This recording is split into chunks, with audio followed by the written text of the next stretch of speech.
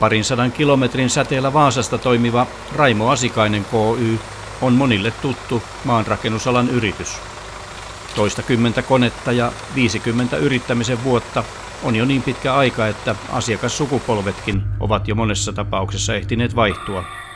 Mutta maine säilyy.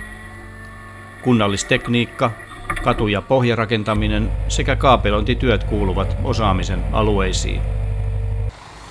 Yrityksellä kaivukoneita on nyt 13 ja 10 niistä on varustettu rototilteillä ja rototilteistä yhdeksän on enkkoneita. Uusin kaivukone on kaupunkikoneeksi hankittu Järreä Liebherr A918.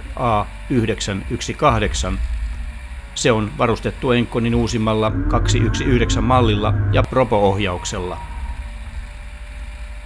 Rototiltit ovat olleet yrityksen koneissa mukana lähes siitä lähtien, kun ne alkoivat yleistyä työmailla. Yrityksen rototiltin merkkivalinnassa ratkaisee ongelmattomuus.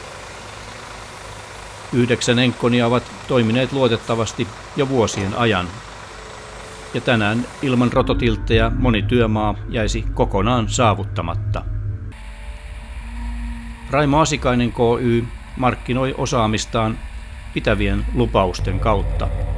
Siksi myös kaluston pitää olla kunnossa. Tällä tavoin yritys pitää huolen paitsi omasta kannattavuudestaan, myös asiakkaistaan.